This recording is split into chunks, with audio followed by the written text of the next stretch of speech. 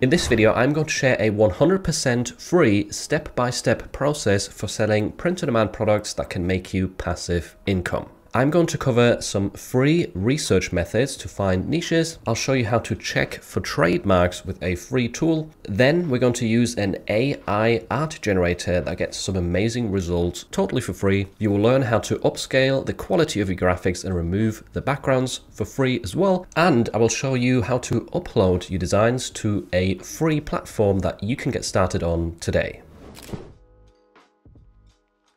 One of the best marketplaces to do your niche research on is definitely Amazon because in comparison to all of the other online marketplaces, they by far have the most traffic. So one free way to conduct research on Amazon would be through using this merch research tool and it will be linked in the description. All you have to do on this page is literally leave everything in the default and then hit search. And this is going to bring up the Amazon.com search results and filter out clothing products, specifically clothing that is listed through the Amazon merch program. One more thing to note right here, you need to have an American zip code selected for the address that they deliver to, because otherwise you won't get the same results because these clothing products, they don't actually deliver outside of the US. So you can just copy my zip code if you want. Additionally, you might be wondering why I've got all of these extra buttons and the numbers underneath each listing, this extra data right here and the keywords. This is all displayed through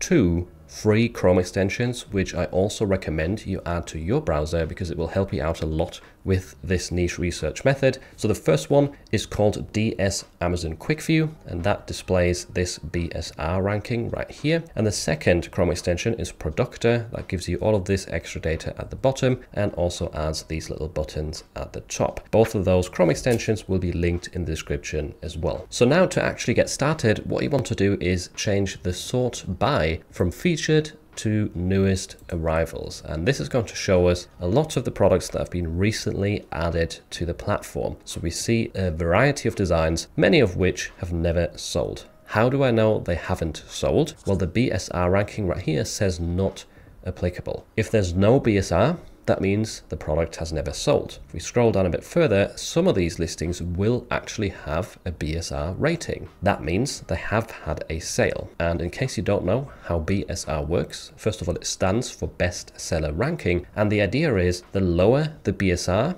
the better a product is selling. The number one bestseller in the clothing, shoes, and jewelry category is getting the most sales, and it would have the BSR of one. So you want to be as close as possible to that number, essentially. Generally, anything above a 1 million BSR is quite a slow seller. Items between sort of 500,000 to a million are selling every now and then, and items below a 500,000 BSR are selling more regularly on a daily basis. Now, whilst we're scrolling through this, we want to look for interesting designs that have been recently added and that are already getting sales, so that have a BSR number, like in these cases right here, because those could potentially actually be niches that we could enter and also get some sales in. Now, some of them will be related to trends or trademark topics, perhaps, like this one, for example, is related to Dr. Seuss, so we want to avoid that. But you are going to find some interesting topics and that we could potentially create designs for. Typically, I look out for evergreen niches, meaning topics that people are interested in throughout the entire year, because that is the way to build passive income. You don't want to keep jumping onto trends because trends fizzle out, the sales drop down back to zero once the trend is over, and then the income goes back to zero as well. That doesn't really make it very passive. So evergreen niches are essentially hobby based. They're related to occupations, to animals, people's interests, and anything that could be sold throughout the entire year as a birthday gift for example. So here's an example of one of those designs. It says serial quilter. This is definitely an evergreen topic. It's related to quilting a hobby and this has got a 999k BSR and it was added on February the 23rd. So recently added, it is selling. The BSR number is not too impressive, but that's to be expected with a product that is very recently posted. It is still a good sign that it sold very, very quickly within the first week at least that's when I'm recording this on the 29th of February. So it sold within the first week. That is a good sign. So quilting is a potential niche that we could write down on a list to look into. Here's another potential evergreen niche that I've found. So there's two tank tops right here that are aimed at ragdoll lovers or ragdoll owners. That is a specific cat breed and both of them have got a BSR, meaning they've sold, even though they were recently posted. So that's definitely a good sign. So Ragdoll is another niche that I would write down and take note of. Another thing you want to do whilst scrolling through these results is look out for patterns, meaning similar designs in similar niches that continuously have a BSR ranking and are getting sales. For example, I noticed quite a few designs aimed at Leap Day. So we've got one right here on this long sleeve. Now Leap Day unfortunately is a trending niche and by the time you're watching this video the trend will be over and the sales will have stopped most likely. However, most of the Leap Day designs have frogs on them and there will be a lot of people out there who love frogs or are interested in frogs regardless of it being a leap day or not. So frog is a potential evergreen niche to try and target. And that's again something that I would note down and sort of try and validate later on. Validation is kind of the next step. At first, we just want to try and find some niche ideas. I'll also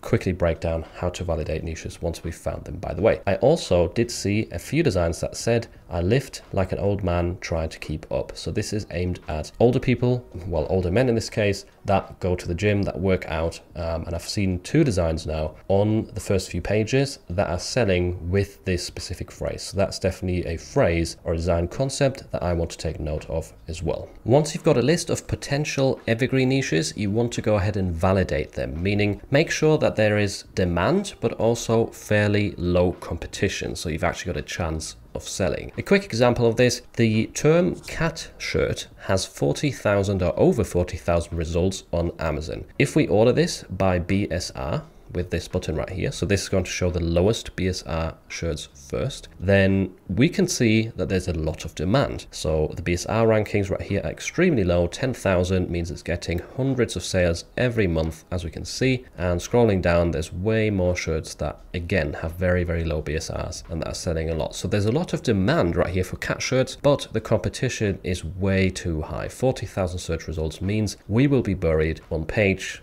100 and our design will probably not get found. On the contrary, one of the phrases that I found earlier that seemed to be doing well is I lift like an old man. And if we type this into Amazon, I lift like an old man shirt, then we get 899 results, which is significantly less. Ideally, you want to aim for 2000 or less search results. The lower the better, obviously, but you also need demand. So again, I've ordered this by BSR and if we scroll down in the first row, there is quite a few low BSRs. Not quite as low as in the cat niche, but there is definitely multiple listings selling right here, getting regular daily sales, which is a great sign. So we've got a combination of decent demand, and also fairly low competition. Alternatively, there's also a really cool free research method that you can use on Redbubble. And I use this method all the time. Now you might be wondering, why would you do research on Redbubble? It's quite a small platform and it also doesn't have the best reputation. Now, you don't have to sell on Redbubble, but it still has a lot of really good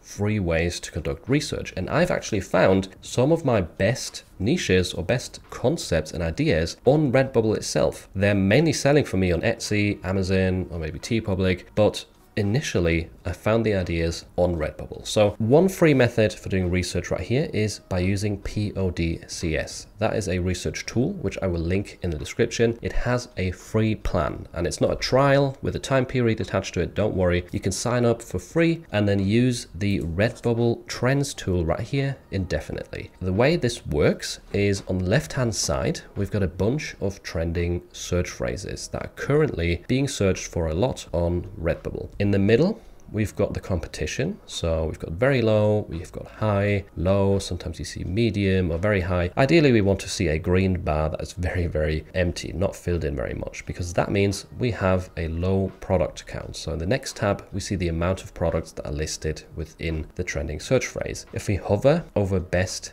sellers right here, then we can see the top 10 best-selling products within each of these niches. And that is very handy because sometimes when you hover over these, you will see someone's face. Like in this example, Daniel Larson is trending. That is definitely a niche I would not enter. So if you see people's faces, if you see logos or anything that might be related to a celebrity, a music band, a TV show, just stay away from it. There is a lot of stuff like this trending on Redbubble, so you have to kind of filter through and find more evergreen topics like this example right here, this looks like a location in Denmark and it's probably not linked to a celebrity or a TV show, so we should be okay to sell something related to that niche. Another quick tip, you can also click on these triangles at the top next to best sellers. If we click on it once, it will show us the highest competition niches first, which we don't really want. If we click on it twice, however, it will show the lowest competition niches at the top. So the first one literally only has two products, two search results. And again, now you need to scroll through, sort of hover over the top sellers and look at the uh, keywords that are trending to gauge whether any of these might be potential evergreen niches. Some of them will be, others might not. So this is definitely a good way to find a lot of ideas very quickly. And I actually share niches that are found within this uh, Redbubble Trends tab on a regular basis on my channel. So make sure to subscribe if you want to be kept up to date with trends on Redbubble and on Amazon as well. I do those episodes every couple of weeks and I often also share some evergreen niches that I've found through Redbubble right here. So check out PODCS. It's another valid research method that can help you out massively. Once you've found some niches that you want to enter, before creating designs, I would recommend checking for trademarks because those could get you into trouble with the marketplaces and might get your store banned. So one free way to check for trademarks is with TM Hunt. I will leave a link to this website in the description. All you have to do here is head to split search and this is where you can type in the phrases that you want to use on your designs or some of the primary keywords of the niche that you want to include in your listing. I'll give an example right here with the phrase that I found earlier. So I lift like an old man try to keep up. If I hit search on this, we're going to get a bunch of trademark results, but don't worry, we can filter this further down because not all of these actually apply to us. So the first thing I'm going to do is click on set to live and text. That's already going to narrow this list down. And then I also click on registered and set this to yes. So now we can only see the text type trademarks, which are the important ones. We can only see the ones that are actually live and registered in the US, by the way. So this looks through the US database in the clothing category for trademarks. And we can see that lift, up and try is trademarked. Now those are single word trademarks for very common broad terms in the English language. So these don't actually scare me off and they're probably okay for you to use on your shirt. If a part of this phrase was trademarked, for example, try to keep up. If this was showing, then I would probably avoid that phrase or, you know, leave this part out. Maybe, maybe you would just do I lift like an old man and you know think of a different funny idea to carry it on. But yeah if an actual phrase is trademarked that is something i would be worried about. Or if it is a single word that looks more like a brand name and that is not necessarily commonly used in the english language. For example if nike shows up as a trademark you shouldn't use it in your listing even though it is a single word trademark. Here's a quick example of what a trademark looks like that you need to avoid. So in this case, I've typed in birds and real and it shows up as a live trademarked for the text type and it is registered. And if we now open up the serial number, this is the second step that you need to take if you found a dangerous looking trademark. This will bring up the entry on the USPTO database and we need to head into goods and services because this will show us what it is actually trademarked for because this phrase might be trademarked for the use on hats, right? That's another item of clothing, but we don't necessarily want to sell hats. However, right here, it says this is protecting clothing, namely shirts, hats, sweatshirts, t-shirts, long sleeved t-shirts, and socks. So all these products right here are protected, and that is mainly the sort of stuff that we want to sell. So stay away from this trademark or trademarks that look like this one that are covering clothing products that we want to sell and that are multi-word trademarks or phrases.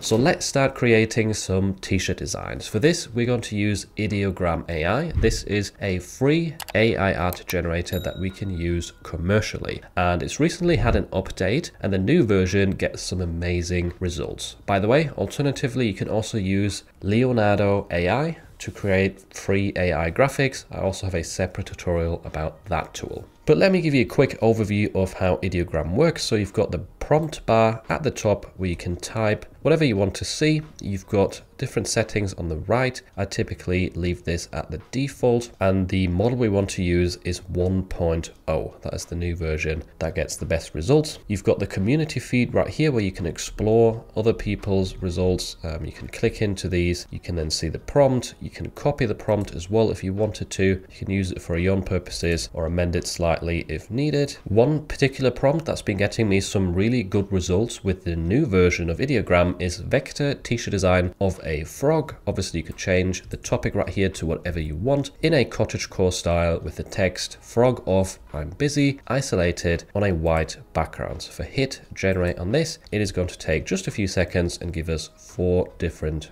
results back. So I will leave this prompt down below in the description, as well as two download links to my prompt guides for Midjourney and DALL-E 3. Those have quite a lot of prompts that you can use in ideogram as well. You might have to adjust them slightly because they don't necessarily fit the ideogram style 100%, but they're a great starting point to try out a lot of different t-shirt design style. So as you can see, frog off, I'm busy. A lot of this text looks extremely accurate. It's spelled correctly, and even the graphics look amazing, especially for a free tool. So this gets really good results. Let's actually try a slightly different style and amend this prompt to make a design for the phrase that we found related to lifting weights. So here I've got a bunch of different results. The prompt that I used is vector t-shirt design of a dumbbell in a vintage sunset style with the text, I lift like an old man try to keep up isolated on a white background. And some of these results look alright, others don't, but what's surprising is that a lot of them are actually spelled correctly, even though it is a long phrase. I lift like an old man try to keep up. Previously, it was very hard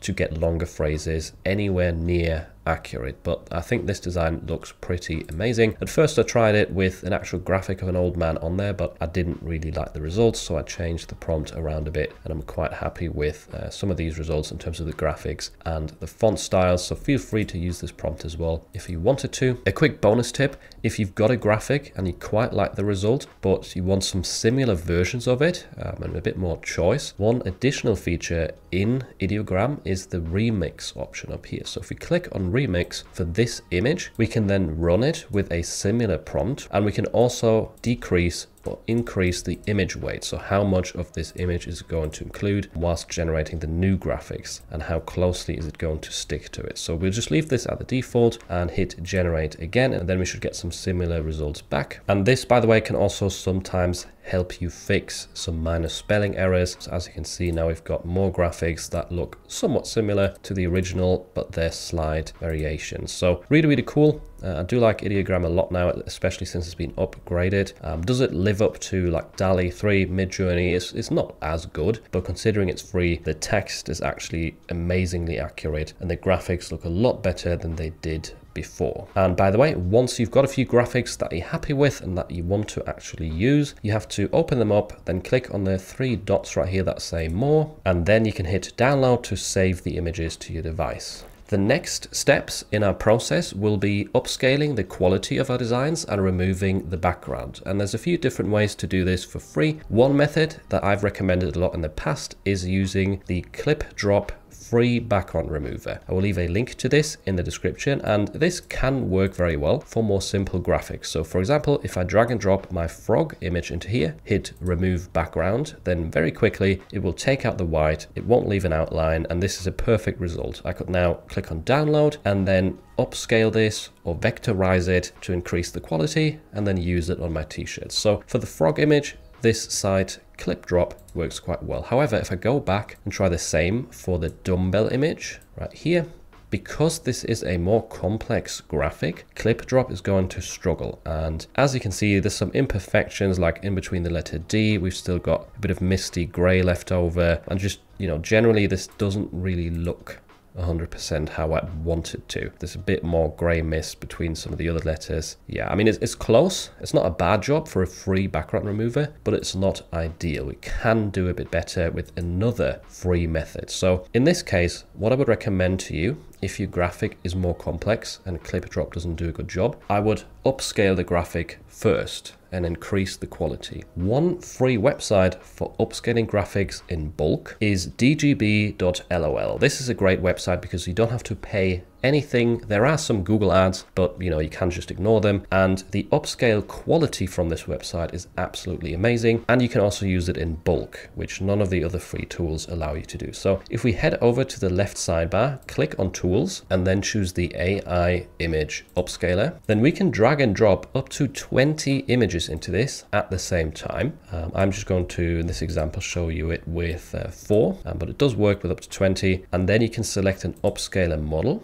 and it goes all the way up to 8 X down here at the bottom. So you can increase the quality by 800%. Again, most free upscalers only offer 2X or potentially 4X, which in this case would be balanced. Balanced would be 4X upscaling, but I would recommend going for at least 6x because you do have the option and it will get you way better results. So let's go for 6x sharp in this example and hit submit. And what that's going to do is add a task to the queue. You can find the queue over here where it says my files and it will give you an estimate for how long this is going to take. Sometimes you might have to wait 10 minutes, but if you have a list of 20 graphics, you know, that's not an issue in my opinion. It's definitely worth it waiting a little bit instead of having to pay for another subscription fee. And whilst this is running, you could just create some more designs, do some more research, or whatever else you want to do. If you come back to this page in a couple of minutes and then hit the refresh button at the top, most of your or some of your designs should be finished upscaling. So in this case, I'm going to click download for the uh, dumbbell design right here. That will be saved to my device. And now we can move on to the next step, which is removing the background in a more accurate but manual fashion.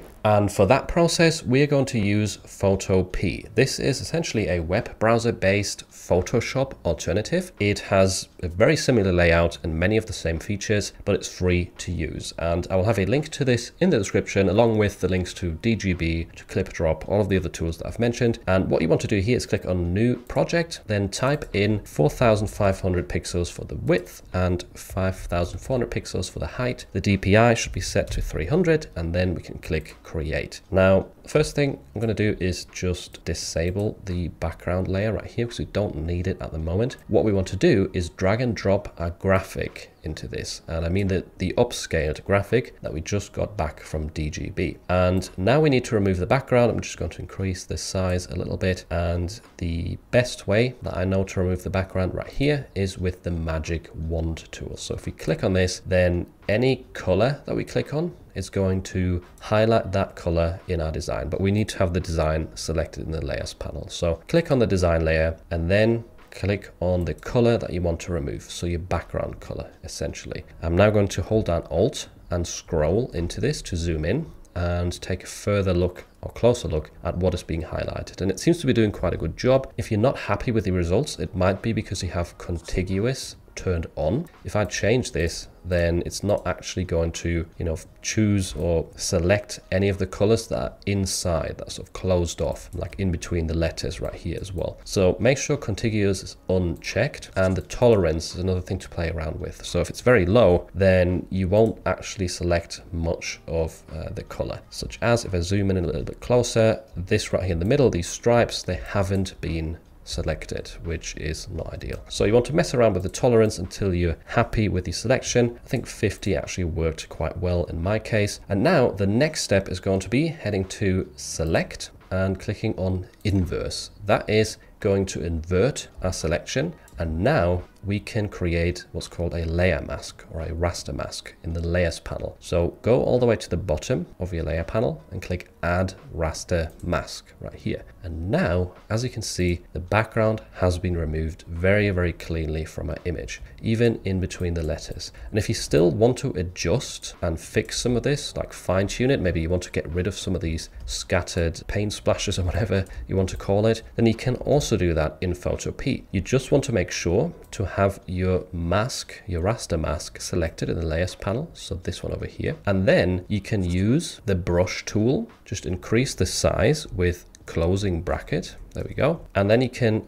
paint in your mask and you want to actually have black selected as your color right here because that is going to erase parts of your mask or parts of your design. If you have white selected, it's going to re-add your design or like paint the mask in white and that is going to reveal what's been hidden beforehand. So if you're erasing stuff, make sure to have black selected. That's how the mask function works. In this case, I made the job a bit harder for myself, but yeah, there we go. We can kind of tidy this up a bit if we wanted to um, and mess or like adjust any imperfections. But there we go. We've got a pretty neat looking graphic. The background's been removed pretty effectively and we've also got it at a high enough quality for it to print well on a t-shirt. And the last thing to do now in Photopea is just go to file export as png you can give it a name right here. So we could do I lift like an old man hit save and then there we go. Download started. Now it'll be saved to your device and it's ready to upload to a marketplace Speaking of marketplaces, the highest potential ones are definitely Etsy and Amazon merch. The only issue is Etsy is not really free, so I can't mention it in this video, and Amazon merch has quite a strict application process and it's hard to get accepted. So if you're not on the Amazon merch program yet, I would definitely recommend to apply anyway because it's worth the effort. If you do get in, you can make a lot of money on that platform. But whilst you're waiting for your application to be accepted, I would still recommend starting on a separate marketplace as well, such as T TeePublic. So I will have a link in the description where you can create your first store on TeePublic. And I like this website for the fact that the upload process is very simple and easy. I'm going to show you it in a minute right here, but that essentially allows you to get used to SEO and uploading designs because it's very, very streamlined and only takes a couple of minutes. Whereas on a platform like Etsy, it's quite hard to create listings as a beginner. And whilst TeePublic doesn't have a lot of traffic compared to Etsy on Amazon, I think there's still some decent potential right here. I've made a lot of sales over the years, and even though it's not my strongest platform, it is still a good choice for beginners. Once you've created your store, you have to click on Upload Art right here in the top right corner to publish your first design. We're going to choose the single file upload in this example, and this is the screen where you need to drag and drop your finished design with the background removed. So I'm just quickly going to find that, open it up right here. It's going to take a few seconds to upload and import. And then we need to fill out a title, a description, and some tags that fit our design and our niche. And a quick tip right here, I usually use the Redbubble tag generator by Merch Titans, which is a free tool to help me find relevant tags that actually suit my niche. So again, I will leave a link to that in the description. In this case, I would type in, you know, bodybuilding or the gym, as the primary keyword and then see what comes up as recommendations and I will include some of those keywords that get suggested in my actual listing data. Another cool thing about TeePublic is that whilst you write your listing data and actually type in some keywords right here, you get a lot of additional suggestions. So body building will probably have um, a lot of other keyword, like long tail keyword ideas that I could also click on and include in the listing very easily. And now we get even more suggestions of fitness, workout, weightlifting. So these are really, really cool, relevant keywords that could help describe our design. I would also include old man in there because why not? Retirement is a good potential keyword, bodybuilding, retired, and additionally you can also use keywords that you found with the Redbubble tag generator. But um, yeah, that's in terms of the tags. I'll just quickly write a bit of a title and description for this design as well. So here we go. I've got I lift like an old man, funny gym, bodybuilder gift as the title, and then this funny design featuring a dumbbell weight and vintage sunset says I lift like an old man try to keep up. So I always try and include the phrase or part of the phrase in the listing in case people are searching for this specific design. And then I add some more broader relevant keywords to it as well such as it's an ideal retirement birthday or Christmas gift for bodybuilders powerlifters gym and weight lifting enthusiasts. So there's a bit of a you know like basic description that you can also use yourself and amend some of the keywords to fit your own niche niche. And then the last part is selecting some of the product colors that we want to sell on. So in this case, the default color could be white or something else that's very, very light in terms of the background color. Maybe we could use heather as well. So you just want to go through, um, select some suitable colors right here for your design. The kits products don't really apply right here to this design. So I'm just going to turn those off. And then right here, we can click on light to make sure people can only choose lighter colors for these products. And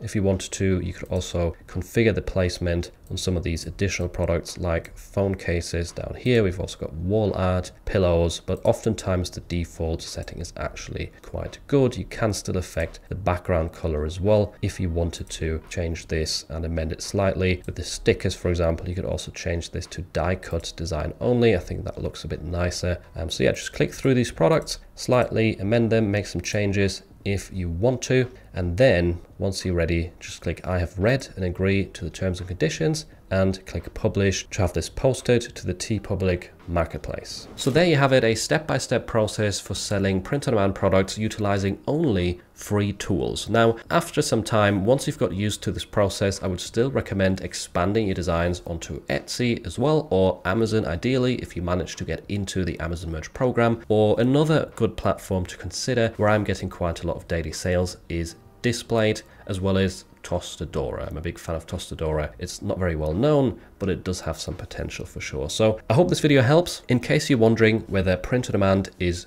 too saturated, you should definitely check out this video next where I share my unfiltered opinion and it will probably surprise you.